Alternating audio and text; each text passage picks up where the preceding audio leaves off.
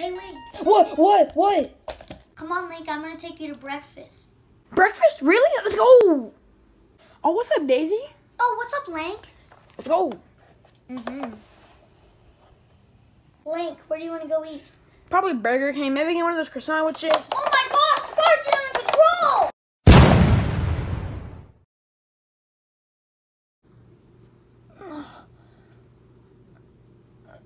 control! Wait, is this heaven? How am I still alive? There's no way.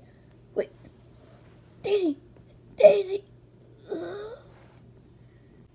Uh, Link.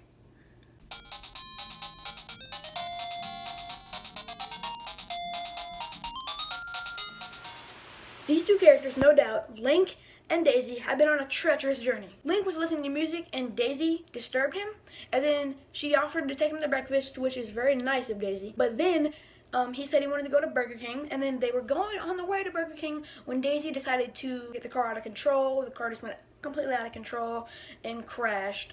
And that's the end of our story here. Both the characters are dead. So, um, get my box of uh, dead people. It's red because it's blood. Many dead bodies have been in here, such as uh, um, Link's in here and Daisy. Both of them in there.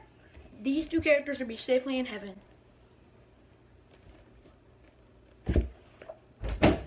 Safe. They don't wanna see us on TV unless it's the news. I got something to prove. Yeah, I'm young, but got something.